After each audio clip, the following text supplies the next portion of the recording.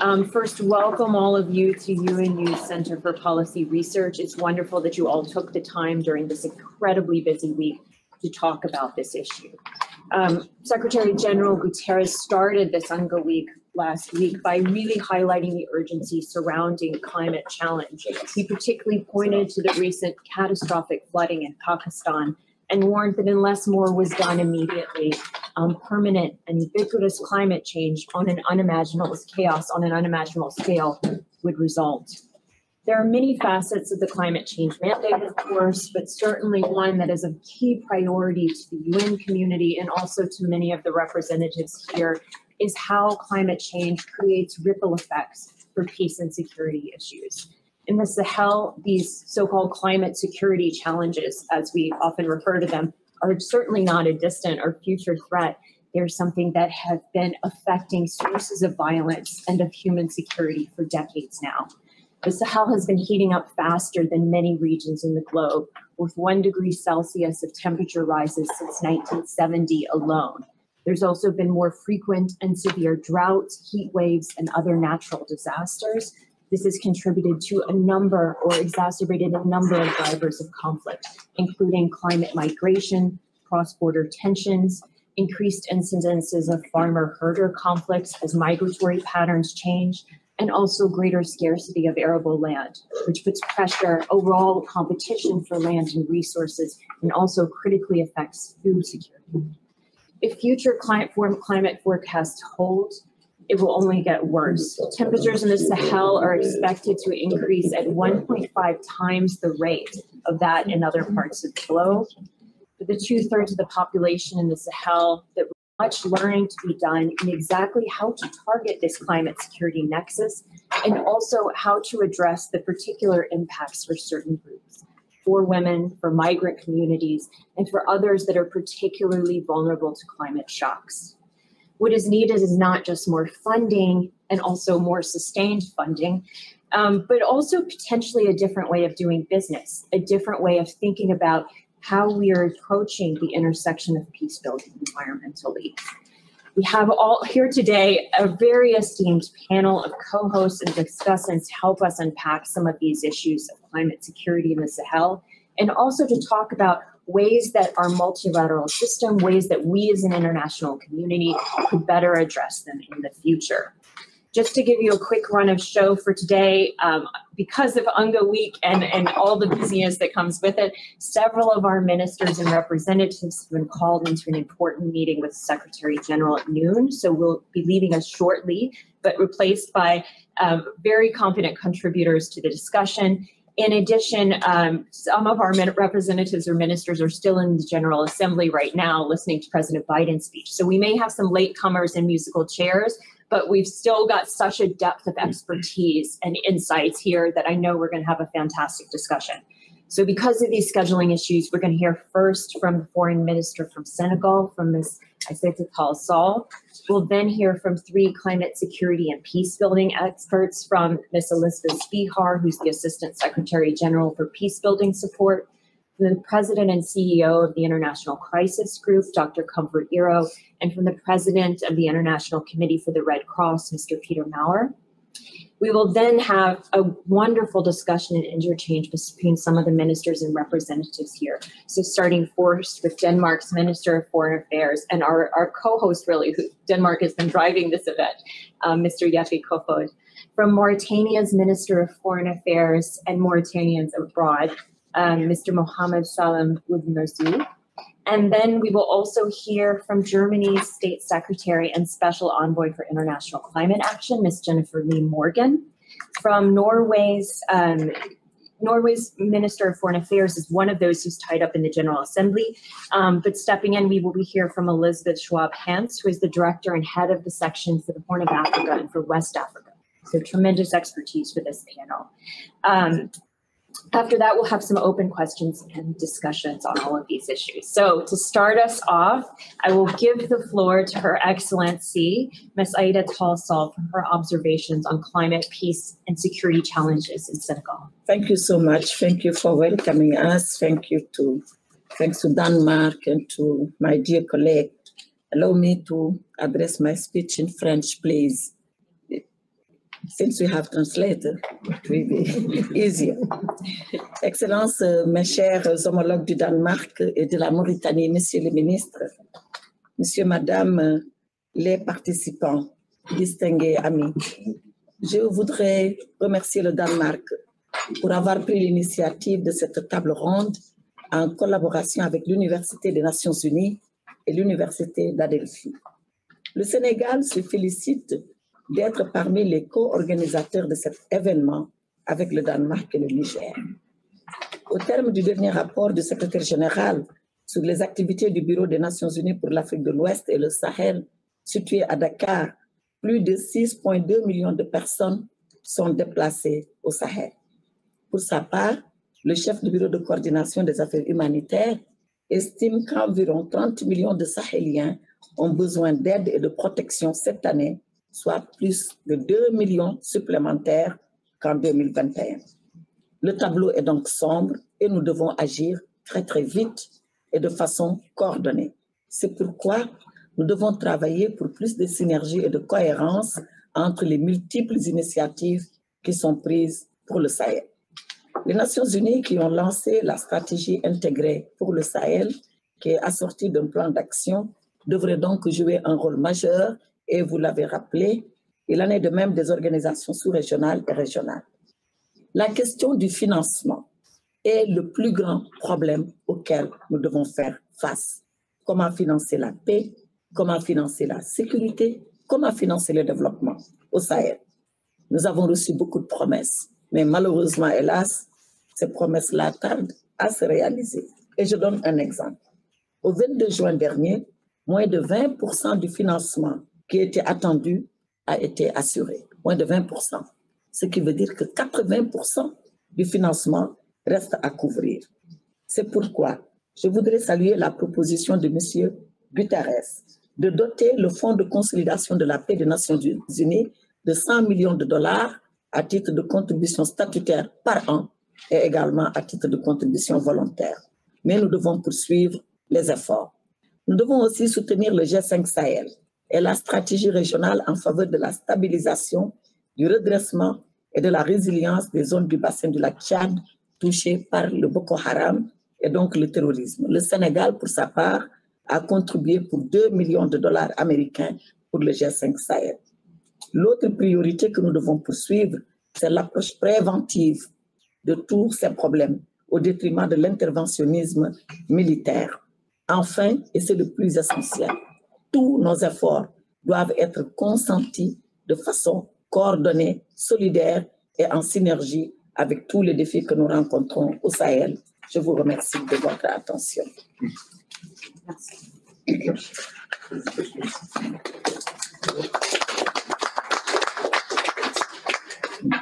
So uh, wonderful. Thank you for those opening remarks. And I think you hit on some several key issues that we'll be taking up throughout the debate. I wish we could stay further, but I, I completely understand your other obligations. Yeah.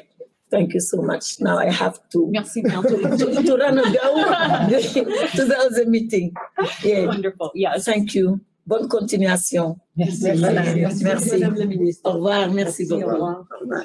Um, we'll next turn to the other participant who also will have to leave us very shortly, uh, Elizabeth Spehar to offer some comments. All right. Well, thank you so much. And, and first and foremost, apologies for, for needing to leave uh, quite soon.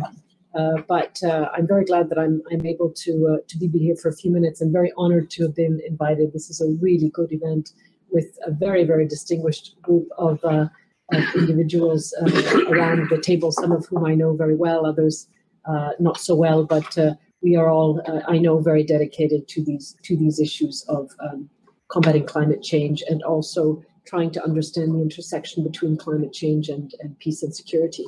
Um, so I, I, want to start off by thanking, of course, the organizers, uh, the Permanent Mission of Denmark, along with uh, Senegal and Niger, certainly UNU, uh, as well as Adelphi for, for putting this together. Um, I can tell you that this is this is an issue that the issue of, of the intersection of uh, climate change and peace and security that uh, United Nations is focusing on, excuse me, is focusing on increasingly. Um, we're focusing on it increasingly uh, because we see the evidence of that intersection in so many parts of the world, but we're also focusing on it increasingly because that is what our member states are asking us to do. And I can say, I think, with with some confidence, and we have some very distinguished um, uh, ministers and other senior officials from Africa. Uh, in Africa, it is a sine qua non. Uh, the issue of which we sometimes call climate security is a somewhat controversial concept with some member states, but I have heard from uh, all of the African countries that that this is a sine qua non. They we're talking about a climate emergency that is destabilizing, that is causing uh, tensions and is causing conflicts on the on the ground. Um, so, as the Department of uh, Political and Peacebuilding Affairs, as well as within that department, uh, the Peacebuilding Support Office, uh, we uh, we are really trying to both in terms of, of research and thinking and guidance, but also in terms of actual support for initiatives on the ground. We are really uh, going into this issue uh, feet and hands and hands first. So uh, let me just um, mention a few things I think are important to, to keep in mind in terms of this issue. Um, and, and you've mentioned several of them, uh, Erica, so thank you so much. Uh, first of all, in our approaches to this issue of climate security, if you will, um, inclusion and local ownership uh, are key. So these are the concepts that we need to, to use and to keep in mind in order to, to guide our way. Um, you, you said it a moment ago, in terms of the impact of climate change, including uh, the impact in relation to peace and security, not everyone is affected in the same way. Uh, we know, for example, that women uh, are often in, in the small villages the ones who are responsible for going out and, and getting the water, providing the basic resources, um, fuel for cooking, and so on. Um, they have the knowledge of their milieu um, and how to face as best possible these challenges, but they're often uh, most directly affected when they are trying to support their families and their and their societies. Um, one of the things that uh, we've been trying to do, for example, is to help um, member states in the Sahel uh, to to track the consequences of, of climate change and this intersection with security, and particularly in um, in in cross-border areas. So in various cross-border areas of, of the Sahel, for example, we have been helping uh, local communities to be able to monitor and track transhumance, right? So the um, the movement of of of, uh, of, of, livestock and so forth. Um, and we've been also uh, training local people to be able to um, diffuse local conflicts based on the competition for resources between herders and farmers, for example, that have, uh, since the conditions are being increasingly exacerbated by climate change, which you very rightly pointed out, uh, the Sahel region is a particularly vulnerable one. This has also increased the incidences of tensions and conflicts. So we are working directly um, in, in this way. Um, I also uh, wanted to mention a, a second point, and um, and that is that indeed uh, cross-border and regional engagement is absolutely critical. So even though we, we have problems on a country by country basis, we do see a lot of the vulnerabilities in the cross-border area. And this is where um, funds, mechanisms like the Peace Building Fund, which I'm very happy to say several of, of these. One of the things that we've, we've learned is that risk tolerance matters. Um, and I want to link that to the, one of the very important of the many important points that the foreign minister of Senegal just made, and that is about financing, climate financing, uh, peace building financing, financing for prevention. It's still lamentably low and particularly lamentably low in the countries that need it most, as she very, very well uh, pointed out. So I was just uh, on Monday uh, at the launch of the um, OECD DAC's States of Fragility 2022 report. And they again underlined in the report how, in conflict affected and fragile settings, and fragile contexts, as they call it, um, only 4% of resources are going to prevention out of only 12% that's going to peace initiatives in the first place. Mm. So we talk about prevention and investing more in prevention and peace building, which is the Secretary General's call through our common agenda. And uh, we are just so lamentably far behind. I really hope that our common agenda and the new agenda for peace will be vehicles to, to collectively um, correct that. Um, so we we see that in non-fragile states as well, um, and this is again using the OECD fragility uh, data. Uh, non-fragile states still receive roughly 80 times more climate finance on a per capita basis than the highly fragile states. So I'm quite sure that, as the minister was was alluding to, the Sahel region and the Sahel countries are. They, we know that they're they're they're not very um, responsible in terms of contributing uh, to uh, carbon emissions and other um, uh, contributors to climate change, um, but they are receiving the lion's share of the problems and they are not receiving the lion's share of the resources. Um, so we know that for, for the private sector, but not only for the private sector, for many institutions, the riskier the place, the less you want to invest. Here, our point is for the Sahel, as the minister was mentioning a moment ago, um, the greater risk is not to act. We need to find the resources for um, climate change uh, adaptation, for prevention, uh, for peace building, and very much for climate security. Uh, as we're trying to address it very much at community and, and local levels. Um, so I'm very pleased, as I said, uh, to say that, um, that the Peace Building Fund does have this risk tolerance where we try to go in as soon as we are asked and we hope that afterwards we have this catalytic effect and that others can come um, uh, behind us. Um, I would just um, finish by saying that um, we're very uh, happy to have uh, partners in UNU and others who are helping us to do right now, as we speak, um, a climate security thematic review. So we have, as a fund, put in well over $50 million into various climate security related uh, projects, uh, mostly in Africa, but also a few elsewhere. And we're trying to learn from that to see how to do it better. What is it even, what, what is this concept of climate security? Why is it important? Are the interventions that we, or that we are supporting, are they relevant? And uh, that should be completed uh, by the spring of next year. And I really hope that it will use uh, it will be useful for all of us to see how we move forward on this very, very important um, uh, issue of the intersection of climate and peace and security. So thank you very much. Wonderful. Thank you. I think that put a lot of important issues on the table for us. I'm, I'm taking away the importance of thinking about cross-border and regional for our future discussion of looking at this issue of risk aversion in conflict affected fragile states and also this this need for practical action for actually figuring out how are you energizing things with communities on the ground going beyond just talking about climate security. So I think we should take forward all of those points of discussion. Um, now we're going to go rapid fire to two of our other kind of expert contributors. Um, we're a little behind schedule, so urging keep comments to the to a few minutes. But next we'll hear from Crisis Group CEO Comfort Ero. Thank you very much, and thank you for inviting me. And, and I mean, Elizabeth, it's hard to follow you because you said it, said all the key things, and I look forward to, to talking to you further later as well. Thank, thank you, you very much as well.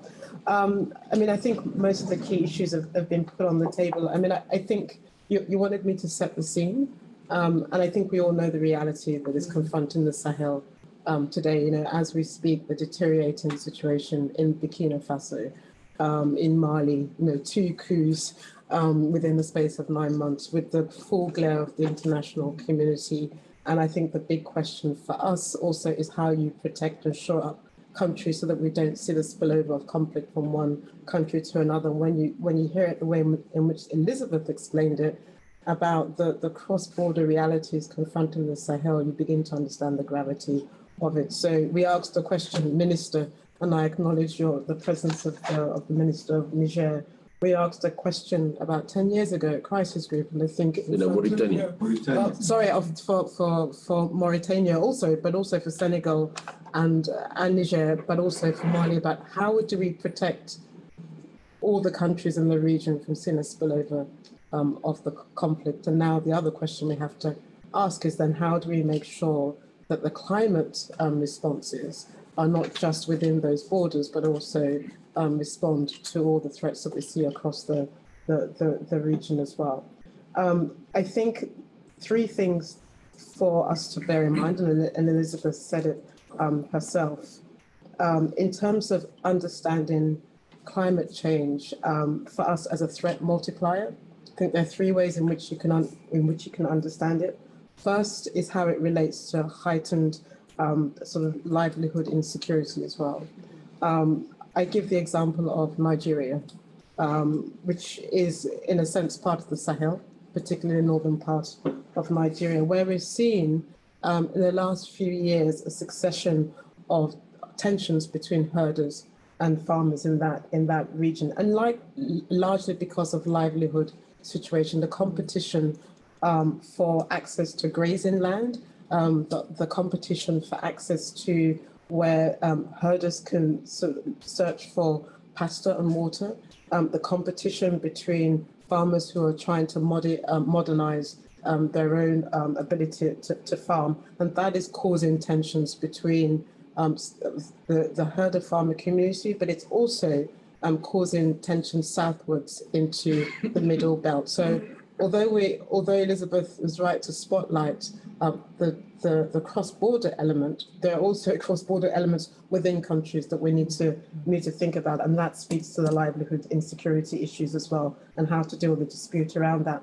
The second one, very quickly, um, Erica, is around um, displacement. It's a, and it's a it's a real issue again with displacement within the, the countries, but also also across um, the countries as well. One of the things that I think we should be paying attention to um, is the change um, in the sort of in the in the water pattern and the build up in the Niger um, River, for, for example, and the deterioration of vegetation um, that is also pushing herder and farmers um, into a very tiny sort of um, space, and they're seeking refu- refuge in certain park areas like the Park Vert um, area in, in the Niger county again. Again, it's about livelihood, but again, it's about space. Again, it's about managing um, the, the competition around the need to use um, scarce resources to deal um, with, with tensions as well. And then the third one, I think, the one that should be a wake up call to all of us, given the, the, the, the extent of insecurity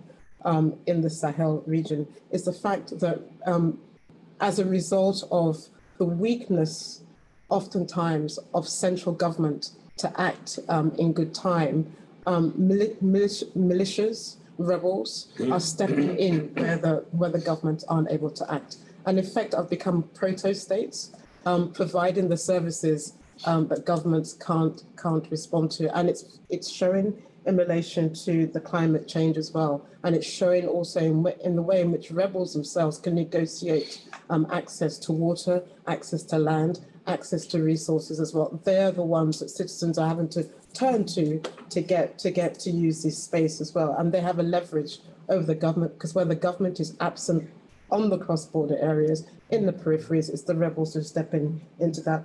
Three quick responses to that in terms of lessons learned, because you asked that, that question. And I have to say that the G5 Alliance has provided some kind of important guidance in terms of resilience.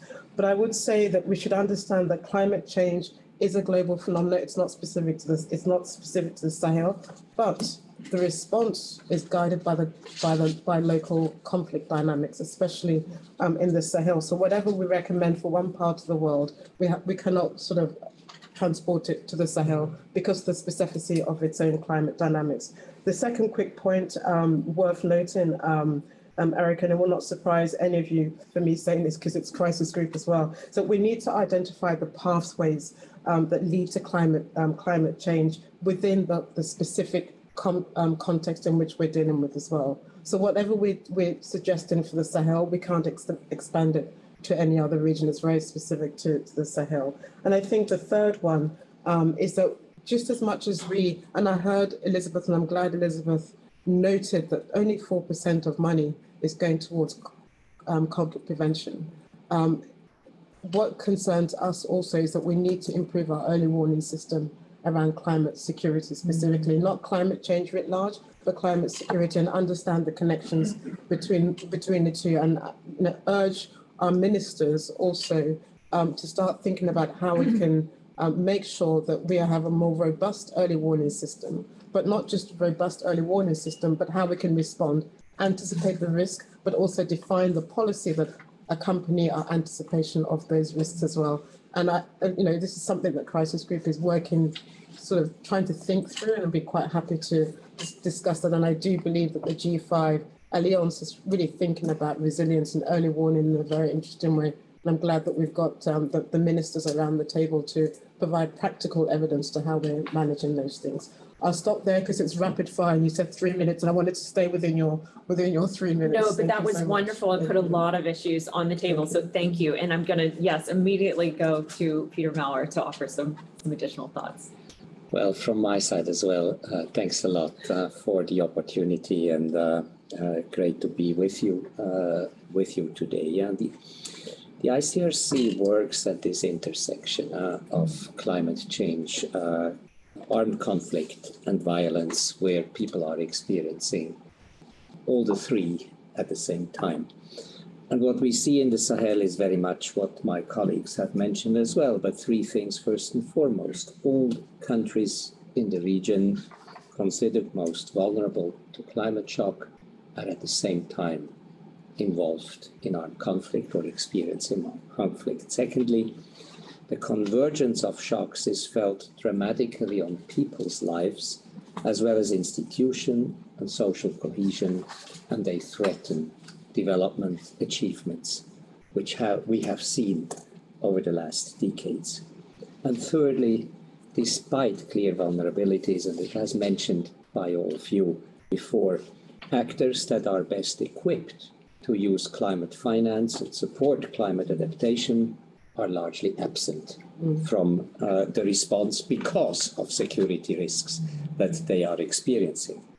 Communities in the Sahel are amongst the most resilient in the world, but in the face of compound shock, they now walk on a tightrope of survival.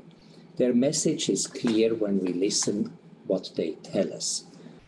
They want more generous support during emergencies, but more importantly, they want pathways to self-sufficiency, self-sufficiency and autonomous lives. And I think we have to hear both messages. At the front line of humanitarian action, we see that humanitarian work is a vital stabilizing factor in this fragmented environment, but it is only a building block towards stabilization. And very frankly, whenever I'm in this discussion, I'm really humbled because at the end of the day, we know that we can't do it alone. We need different types of collaborations and partnerships. Our urgent priority is to work together for impact. We may all agree on, and, and it has been articulated, uh, on the basics, but the stumbling block is still how exactly do we organize a collective response for impact amongst all the different perspectives and actors, which in the general terms all agree on the analysis that we are seeing. I try maybe to highlight one experience from other uh, projects that we have been running in Africa, which are a little bit more innovative on how we could eventually work together. And what we have learned, for instance, in, in a DRC and, uh, and in other parts in the Horn of Africa is that we need really to bring collaboration at a different level. And what is the essential? It's yes, the humanitarian development funds, but it is also the grant and credit that we have to combine in a different way. And it's the public and private tools available.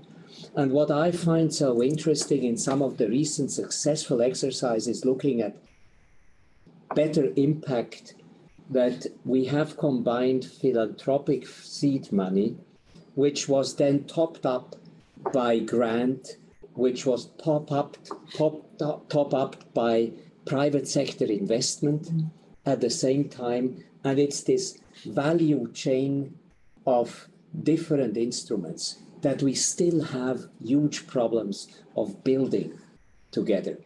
And I think it's not a question of institutional coordination, but it is really a question of how we bring the tools and instruments together so that uh, we see impact. And I see three practical solutions that can make us more successful in doing so. First, really put people at the center of what we are trying to do and listen carefully what they need. We are still, all of us, in a mode of developing and unfolding and rolling out instruments independently of what the the real needs and the articulation of these real needs are. And we have to change the logic. Secondly, we have to share knowledge and align complementarity experiences. Humanitarians can help other actors bring conflict sensitive lenses to their own work and address some of the risks that limit their action in these contexts. And thirdly, we need to explore new financing mechanisms that bring states, the private mm-hmm. sector, humanitarian and development actors in finding new and more meaningful tools to better deliver services and address needs. Mm-hmm. And here, very frankly, I, I really am addressing myself to the Northern ministerial representation around this table. Because if I have one experience over the last couple of years where I tried so hard, for instance, to bring the World Bank and ICRC to work together, we see that the details of rules and regulations within each institutions are obstacles to this fluid cooperation for people and for impact. And it needs governance decisions at the center to give the space so that we can do what we intellectually know is the right thing to do. And I think I really wanted to encourage you look at the detail. We have gone over week and month of negotiation and best intentions amongst the staff of ICRC and the World Bank. And in some places, we have been able to unlock. But in other places, at the end of the day, we, we saw that we needed governance decisions and governance leadership and allow governance creating that space that we can test, that we can explore. And this is about risk taking, and it's about managing insecurity, and it's about also allowing us that we get a little bit of breathing space uh, to try out and then to see what really works. Mm. I'll stop it. Wonderful, thank you. And that is a great segue actually um, to my next question and our next speaker. Um, so this is directed to you, Your Excellency, uh, the Foreign Minister from Denmark. And for these these questions of how do we do this? How do we have better governance leadership on there? How do we we can't do it alone? How do we do it better as a system? Is I think particularly important because of course Denmark has been a leader on, you know, generally the green agenda on sustainability globally. It may have some opportunities for promoting this governance leadership if it looks to join the Peace Building Commission in January 2023, or potentially in future cycles if you know there is a successful bid to join the Security Council. So taking that into the consideration, what are the opportunities that the multilateral system what are the opportunities for it to do more on climate security issues and to more systematically address the repeated threats and vulnerabilities. Well, th thank you, uh, Erika, and, and thank you so to, my, to our experts and also the ASG. Um, brilliant opening remarks, and, and we hear uh, your call as well, also on um, obstacles and government structures, and, and, also pay attention to the details. To, so we're not only talking about the, the, the big picture. Um, so very timely question that you posed. Um, so let me um, share uh, three points uh, on how we can we push forward climate, peace, and security in the UN, and then proceed to outline some hopes and also ambitions that uh, uh Denmark's membership for the Peace Building Commission and our candidacy for the Security Council. Um, and I, I, do not want to start by you know, explaining the interlinkage between climate, peace, and security, you, because you always touched upon that in, in detail uh, brilliantly. Um, all of us, although I think some more than others, uh, have felt the dire and also destabilizing effects of extreme drought and flood, floods and scarce uh, access to natural resources uh, and, and, not least the loss of life. So we see that. Um, and clearly for the UN, to lift its triple mandate on development, security, and human rights, we must consider the effect of climate change on that. Uh, so my, to my first point, is to my first point, the effect of climate change need to be factored in um, pretty much everything we do uh, in fragile and, and, and, and conflict settings. Uh, you also touched upon that, uh, Peter, from humanitarian and development efforts to stabilization efforts and the promotion of gender equality and human rights. We know this is still controversial to some. Last year, a widely supported Security Council resolution on, on climate, peace, and security failed to be passed, as we recall. Um, but good colleagues, uh, including also Peace Building Commission and Security Council, uh, in Security Council has shown us the way forward. That brings me to the second point. Um, we need to be guided by the needs of, of the people and, and countries who are most affected by climate change and conflict, and also to build some lessons, that we're already starting that, uh, build some lessons from the ground. Um, we, when we uh, do that, we uh, deplete um, the climate security from political and ideological uh, strides, and I think that's important. When countries in their national capacity has asked for support from the UN to address issues related to climate, peace, and security, there uh, has been no or almost no divisions uh, in the response. So my third and actually fourth and fifth uh, point, which I made, uh, is data, data, and data. I mean, uh, to act together, we need strong shared understanding of the most urgent priorities and challenges. We need to know uh, what works where, and we need to uh, we need data, we need evidence uh, on this. So when Denmark enters the Peace Building Commission in, in January, um, and as we also launch our candidature for a seat in the UN Security Council for the period of 25-26, we will seek to work on this nexus on climate and security um, in an evidence-based um, manner, and by working with uh, those countries and people um, who are the most vulnerable uh, to the effect of climate change women, youth, IDPs, migrants, or other marginalized groups who bear the, the, the burden of violence and climate, and, and they will be our informants, our briefers, and our advocates. So, um, my colleagues from the Sahel region, um, one of the regions hardest hit by climate change in the world, your insights and experiences will, will lead then Denmark's engagement also in that. So, so I look forward um, to learn and, and share experiences with, with you here today. So thank you so much. Wonderful. And, and that's actually a, a really great um, transition to our next speaker, um, the, His Excellency from Mauritania. And, you know, there's been a lot of discussion so far um, about how important it is to involve communities and to really build from ground experiences, learning and understanding. And as I understand it, in Mauritania, there is a particularly active civil society, media, incredibly strong community tradition how do we bring those voices into these international and national discussions about climate change policy? How do we include communities more and really build and support them in community resilience?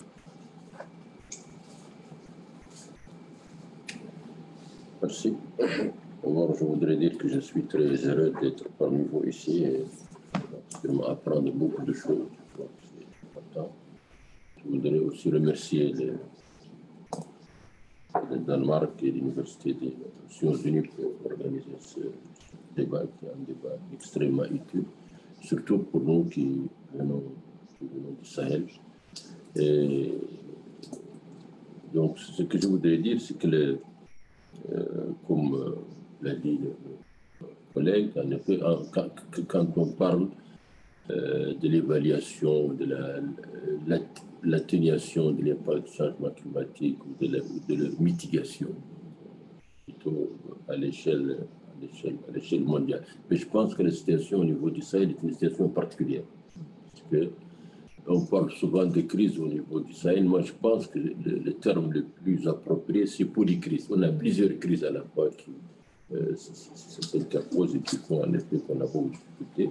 Je voudrais rappeler que euh, D'abord, le Sahel couvre à peu près une superficie de 3, euh, de 3 millions 53 millions de kilomètres carrés. regroupe une bonne, très bonne dizaine de, très bonne dizaine de pays. Burkina Faso, le Tchad, l'Érythrée, la Gambie, le Guinée-Bissau, le Mali, la Mauritanie. Euh, et que c'est une, euh, une région qui, qui, qui, a, qui subit le, le plus fort impact des changements climatiques euh, au, niveau de, au niveau de sa population. Et que l'impact de ce changement climatique est très visible euh, parce qu'il euh, exacerbe la dégradation, donc l'accès à la dégradation des ressources naturelles, la régression de la biodiversité végétale et animale, l'insécurité alimentaire et nutritionnelle, la vulnérabilité des populations, l'exode rural, euh, la migration, les coûts des conflits d'accès, qui sont eux aussi une autre forme de violence. Donc c'est un, un tableau difficile.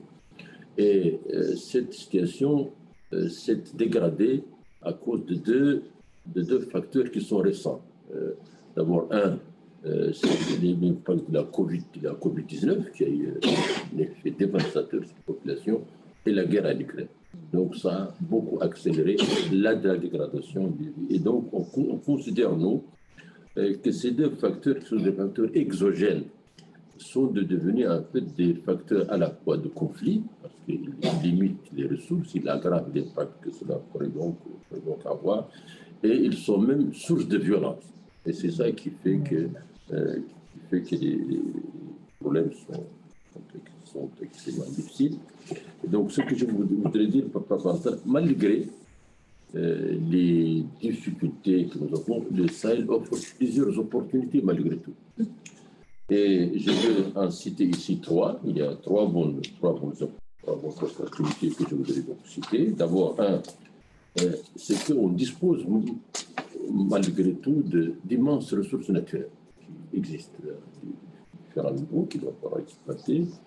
Euh, La deuxième opportunité qui est donc offerte, euh, c'est la possibilité d'exploiter de façon équitable ces euh, ressources. C'est la deuxième opportunité qui s'offre à nous. Euh, la troisième, euh, c'est euh, euh, euh, de sécuriser aussi euh, les performances des systèmes de pro- production. Ça, c'est une opportunité qui s'offre donc à nous. Il y a euh, une difficulté qui se greffe à ça, c'est que dans l'ensemble de ces pays dont on vient de parler, il se pose un problème sérieux euh, qui est donc ce qu'on appelle, qui est donc connu pour ceux qui travaillent sur le développement, la gestion de la transition démographique. C'est que le grand problème aussi, c'est qu'il se pose au niveau de pays, c'est un problème démographique. Euh, le, taux de le taux de fécondité dans certains pays comme le Niger, il est à peu près à 7-8, ce qui est énorme, euh, alors que la moyenne mondiale, elle tourne autour de 1,5 à 2 euh, maximum. Et donc, c'est ce qui fait aussi. Et quelles sont les leçons qu'il va falloir tirer? D'abord, je réponds à la question qui a été posée par la directrice de Crisis Group. En tout cas, nous, par rapport à ce qui se passe au niveau, euh, au niveau du Sahel, comme vous le savez, je crois, nous sommes aujourd'hui le seul pays, la Mauritanie, le seul pays le plus euh, le seul pays qui, a, qui, a, qui, qui maintient l'inviolabilité de ses frontières par rapport à l'ensemble de ces groupes-là. Et c'est le plus grand pays qui accueille sur son territoire le plus, le plus grand nombre de ré- réfugiés, réfugiés maliens. 85 000 qui sont aujourd'hui, qui vivent là depuis une bonne vingtaine d'années et qui vivent et qui, et sont, vus. Et je, parle euh, dans le sud-est du pays, ce qu'on appelle le camp de, le camp de dans le sud-est de la Mauritanie. Et tous les agents des Nations Unies travaillent là-bas, euh, l'UNHCR, il y a le PAM, euh, il y a toutes les coopérations, coopérations allemandes, je crois, probablement danoises, beaucoup, beaucoup de pays qui travaillent. Et donc, euh, et c'est le, le camp de Mbrr montre que le naufrage du Sahel, c'est emblématique de ça. C'est-à-dire, il y a un problème de sécurité au niveau du Mali, mais qui pose par ailleurs le problème humanitaire. Voilà. Donc, il y a un, double défi sécuritaire, mais en même temps humanitaire. Et c'est ça qui fait qu'aujourd'hui, le camp de Mbrr est nous, euh, on, a, on, a, réussi parce que on a apporté euh, euh, trois réponses à, ce, ce, ce que nous, on a connu en 2009, 2010, 2011. On a connu beaucoup d'attentats. D'abord, une réponse militaire et sécuritaire. J'ai entendu dire que c'est pas important, c'est très important. Je crois que ça fait partie euh, de la construction de la paix que les, gens peuvent, défendre. Euh, mais euh, en respectant euh, les droits humains. C'est ce qui c'est ce qui se fait au niveau du Sahel. La deuxième réponse, qui est très importante, c'est la réponse politique, c'est la gouvernance. Une bonne gouvernance qui peut être faite. Et la troisième réponse qu'on peut donc apporter ça, euh, c'est une réponse de, de, de déradicalisation, de désendoctrinement. C'est donc à peu, à peu- à peu- à peu près ça. Et je voudrais dire aussi par rapport à ça, euh, c'est que euh, euh, aujourd'hui, au, ni- au niveau du Sahel, il n'y a pas une violence, il y a des violences, plusieurs types, plusieurs types de violences. Il est vrai que les gens se focalisent sur l'aspect, sur l'aspect religieux.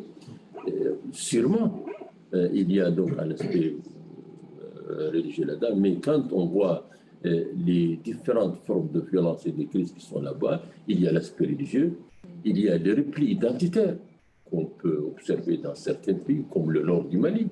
Euh, on le- le- observe aussi dans. Il y a euh, le, le- le repli identitaire et si on peut l'exprimer ici. Il y a euh, troisième caractéristique de cette violence aussi, c'est l'injustice économique. Euh, la quatrième raison qui peut aussi être observée, c'est l'injustice sur le plan climatique. Elle pose en effet quelques, elle pose en effet quelques difficultés. Et donc, je- ce, ce que je souhaite, moi en tout cas, c'est que pour euh, l'avenir, que quand on jette un regard sur la région du Sahel et l'Afrique, euh, pas seulement, on observe ça au, au niveau de la région des Grands Lacs, au niveau de, de pays, qu'on ait à l'esprit qu'il n'y a pas une seule violence, il y a plusieurs types de, de violences. Et que donc les facteurs qui président à ça, elles sont, elles, cela aussi évolue, ça change. Euh, il est vrai que euh, début des années 2010, c'est euh, c'est Al-Qaïda, c'est vrai, il existe, mais il y a malheureusement de nouveaux groupes, surtout il faut qu'on sache qu'il y a une sorte de démilitarisation même de la violence au niveau, au niveau du Sahel. Et comme euh, cela a été dit, la, la, vraie, la vraie dégradation de l'État central, elle aussi elle accélère euh, ce, ce, ce, ce processus qu'on observe à ce, niveau-là. Qu'est-ce qui... euh, donc, nous, la, la, la, la- réponse sur sur, sur quoi euh, on peut donc agir de façon, de, de- façon rapide. On soutient naturellement euh, ce fonds consolidé qui doit être amené pour la consolidation paix au niveau des, des Nations Unies. Moi, j'ai dit au secrétaire général des Nations Unies, je crois, il y a, deux jours, je lui ai dit qu'au niveau du Sahel, on a l'UNOAS. Euh, pour moi, on doit élargir sa mission. Il doit traiter de deux choses qui sont, de mon point de vue, un peu, importantes, euh, c'est la mise en place, euh, il y a le Crisis Group, il y a beaucoup de... On met en place un groupe qu'on fait de très haut niveau qui travaille sur l'identification des risques liés au climat, comme pour mettre en place un système d'alerte précoce par rapport à ça. Euh, de- de- deuxième chose qui peut aussi être faite, mais de- c'est la mise en place d'un système d'alerte précoce. C'est des risques li- liés au conflit. Parce que si la situation se dégrade, déjà, je vous dis que pour retourner à l'ordre, euh, euh, c'est l'aspect le plus difficile.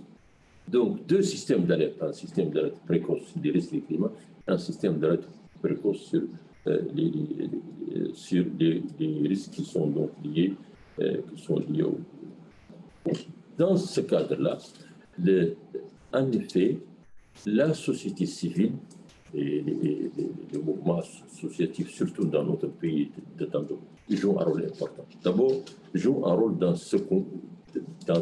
C'est parce que ces groupes violents, qu'ils soient des terroristes, des terroristes, des groupes religieux, le rôle, c'est la déconstruction des fils de la cohésion de la société et, de la société. Et ils détruisent les États. Et donc, le rôle de la société civile, c'est d'être un peu le, vrai gendarme euh, qui, qui, donc pose, qui, qui, qui pose des difficultés. Nous, on a une société civile qui est donc renforcée, qui est totalement libre d'ailleurs de choisir. Nous sommes l'un des rares pays où aucune ONG n'a besoin d'être autorisée pour, pour, travailler. Tout est ouvert. Les sociétés sont, sont donc organisées et ça me semble aller dans l'ordre. Je, je m'excuse d'avoir plus de temps, mais je suis heureux d'être là dans une université parce que je suis un professeur d'université et je suis aussi heureux parce que je suis ministre aussi des Affaires étrangères. et Donc, ça me- ça m'a fait, ça m'a fait donc. euh, Non, c'est normal, vous avez beaucoup de choses d'importantes. Oui, ça me fait donc plaisir. Oui. Et je suis, monsieur l'ambassadeur, on a malheureusement une, une réunion, mais s'il y a une question rapide à vous poser, On vous je a posé la question sur la société civile. Mauritanienne, Non, qu'est-ce que- non, mais, mais maintenant, Non, je c'est ça. pense que nous avons Ok, seulement ah, plus 20 tard. minutes qui Ok. restent, alors je, Ok, je tourne à, à. Ok, c'est bon, c'est bon, Mais bon. merci beaucoup, c'était Merci. très intéressant and très important.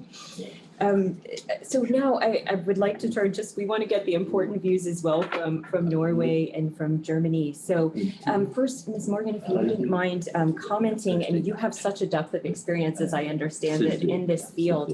And I know within Germany and particularly, as, you know, there's been a debate about the new national security strategy, climate security risks have been a big part of that debate. How do you see Germany's investments or support for climate security unfolding going forward in light of that debate? Well, thank you, and, and thanks for the opportunity to be here and to, to listen um, and hear from people who are working on the ground. And uh, thanks to Denmark, our close, close collaborator on many, many issues. Um, and um, University, I think, you know, we are now in the process of doing a comprehensive national security strategy. It was actually launched um, shortly after, just two weeks after the unlawful Russian aggression on Ukraine. And um, in it, Minister Baerbock, who's our foreign minister, she was quite clear. She defined the climate crisis as the greatest security in, uh, crisis, great, greatest threat to international peace, international security, stability, and stability. And we're now in the process of kind of thinking through and consulting with civil society, with uh, obviously with all stakeholders, relevant ministries. But it's pretty clear livelihoods is going to be a very core part of that um, strategy. Um, and I think in the types of climate related risks, I mean, we've heard here about obviously the, the climate impacts on water and, and food and energy, um, uh, shortages and extreme weather events and uh, you know, the migra- migratory patterns um, and uh, the pressures that come in there. And um, so we're uh, aware of that. I think the other piece maybe to bring into the discussion, which I think adds in, is the um, security relevant and geological geological impacts um, that reach from so-called tipping points.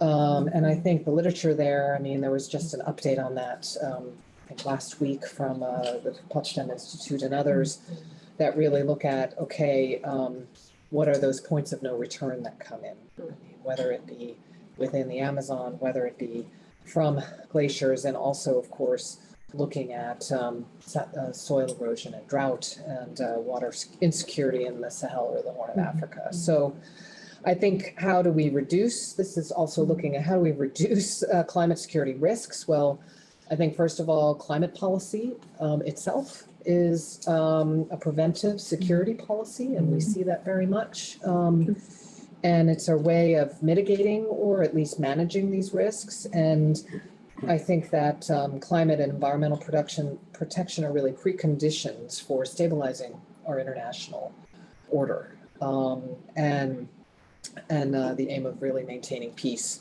and security in the world. And that's in our geopolitical interest. And I think that's very important when you're doing a national security strategy to actually see that our efforts, as part of a global effort to reduce emissions, to take climate policy, are also in our own national security interests uh, and, and of others. And, you know, that we have to keep 1.5 um, very much alive. And um, I think that's the, the best way to reduce climate uh, induced uh, conflicts um, in the in the community, and that's where we're working very hard um, and have built up and accelerate our own energy transition.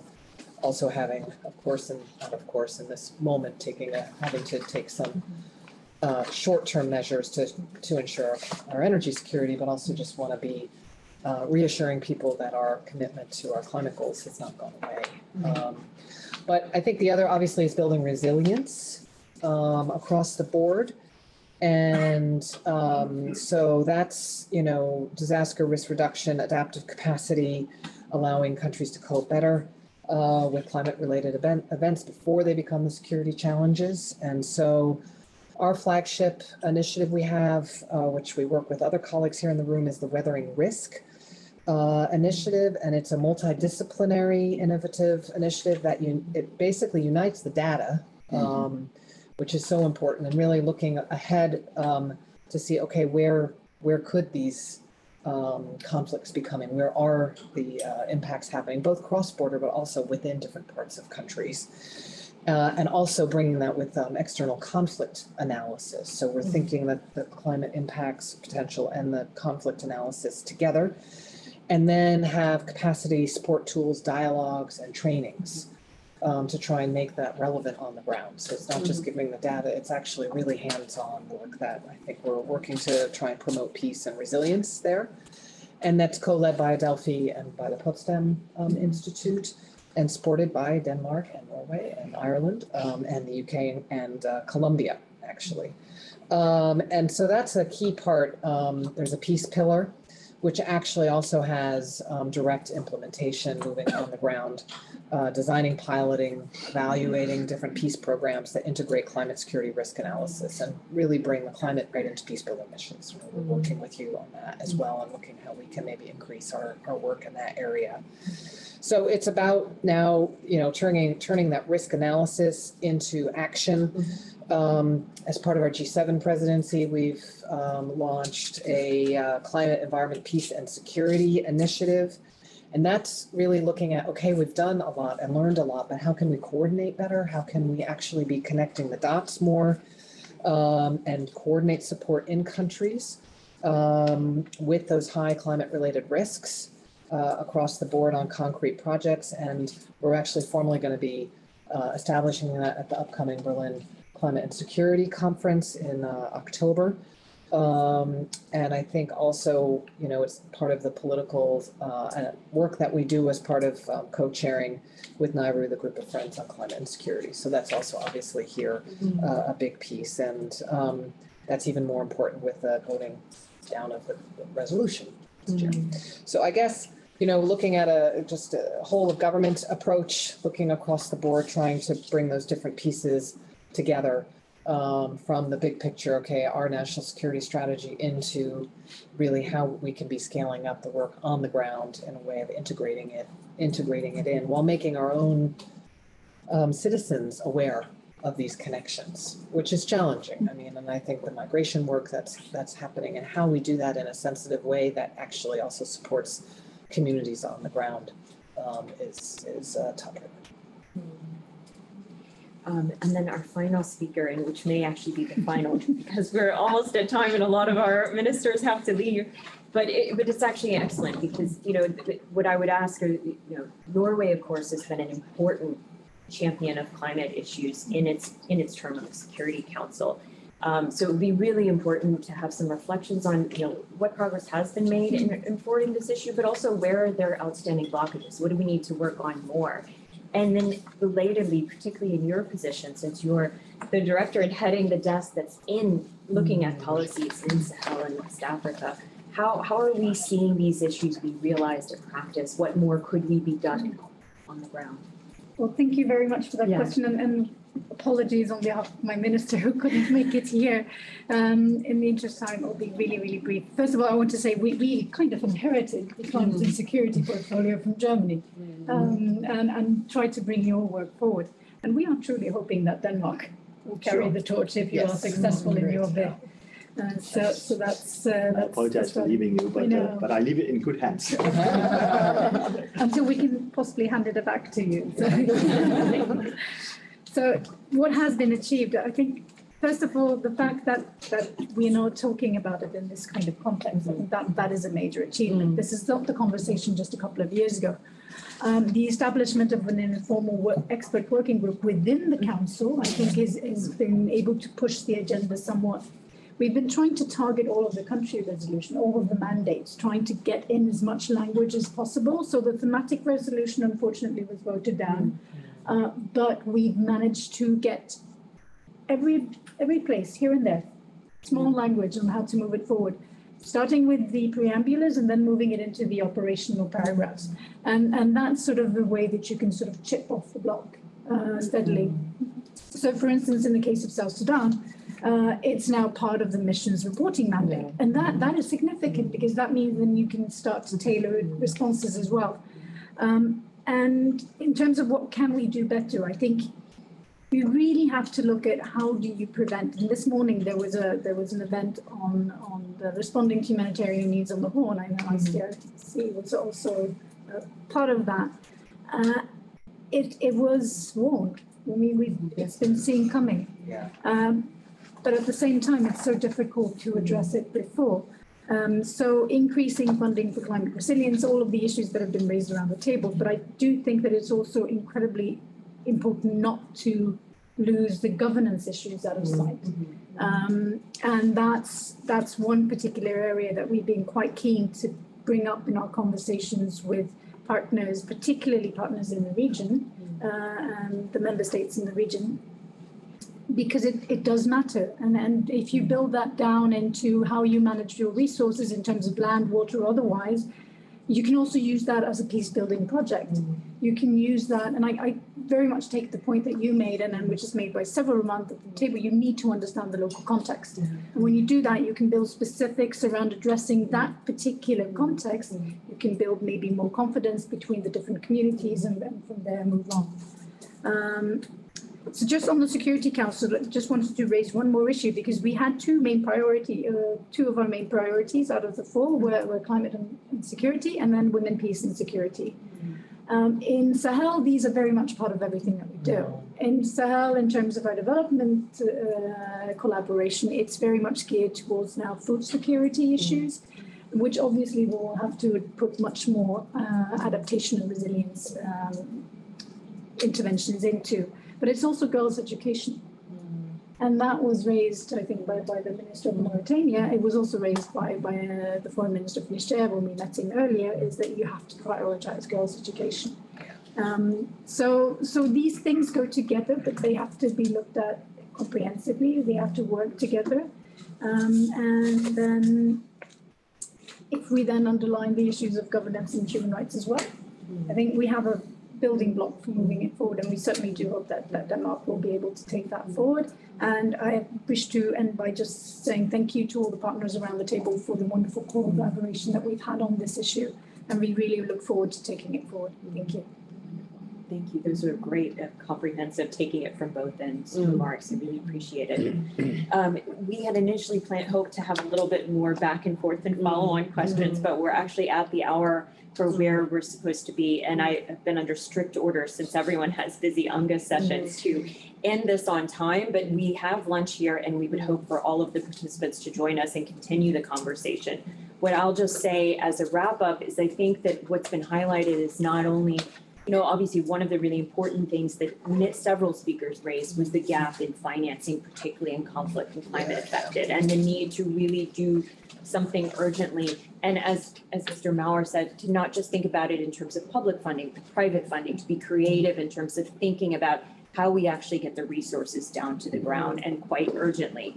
Also, obviously, huge gaps in terms of knowing how to sync together our responses in terms of environment and conflict risk and all the other things, like you pointed out, girls' education, good governance, all of these other components that also play into whether you're actually successful in addressing the climate security risks that manifest. Mm-hmm. But then hugely, and this came across at so many points, was this issue of governance. So mm-hmm. governance at the international level, international leadership on this issue, now it is more of a priority, but making it even more, even more of one and continuing that. Mm-hmm. Governance at a regional level, addressing these transnational cross-border flows and having regional systems of management that are able to work on not just the climate effects, but also the security implications, the armed group networks, the transnational crime, but also ways that human security are flowing across borders and, and affecting issues. And then finally, at a local governance, because in so many of the areas that are really the most vulnerable and are bearing the greatest brunt,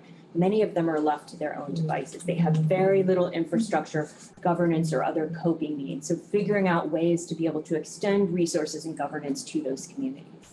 Um, this has been incredibly rich and thoughtful debate. I'm going to really enjoy getting to talk with all of you over lunch afterwards. Um, but thank you all for taking part. Thank you for those of you who joined us online and observed this. Um, and I hope we can continue this discussion at another point. Thank you. Thank you.